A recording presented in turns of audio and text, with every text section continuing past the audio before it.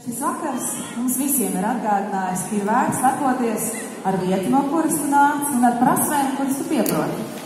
Es ceru, ka šis vakars mums visiem ir eh, ļāvis priecāties par to, cik fantastiski jaunieši dzīvo Latvijā. Vai ne? Un es ceru, ka pēc šī vakara visi tie jaunieši, kuri piedalījās šī milzīgā koncerta veidošanā, sapratīs, ka ja kaut ko ļoti vēlas un pie tā strādā, tad viss ir iespējams. Un es ceru, ka šis vakars iedrošinās mūs katru izaicināt citam citu uz lieliem, labiem un krāšņiem darbiem. Paņemiet arī jūs visi kaut ko priekš sevis no šī vakara un nesājiet to vienmēr sirdī līdzi. Jo kopā mūsos ir apbrīnojams spēks. Daudz laimes Lietuvā, daudz laimes Latvijā!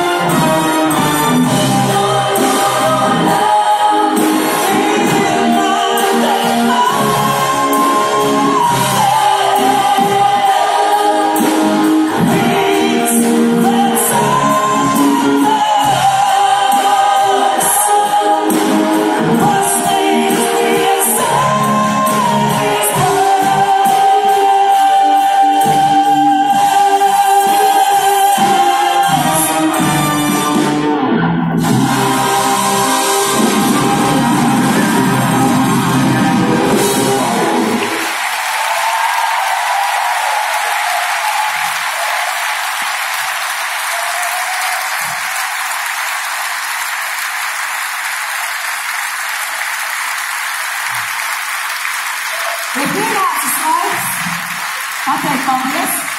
Paldies 500 koncerta dalībniekiem un viņu pedagogiem. Paldies iesmāksliniekiem par to, ka viņi īsti aizmuguri mūsu jauniešiem. Paldies 30 super liepājniekiem, kur kopā radošo grupu izsapņoja, izplānoja un izaicināja paši sevi norganizēt šo brīnišķīgo lielu koncertu. Paldies galvenajiem šī pasākuma organizētājiem,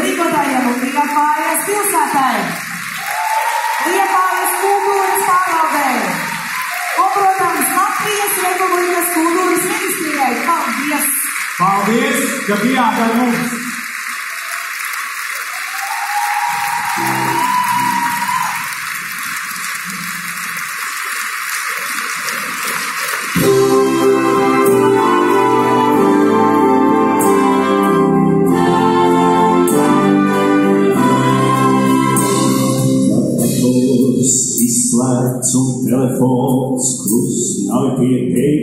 Manchola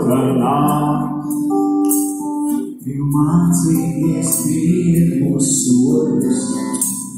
porque orate sus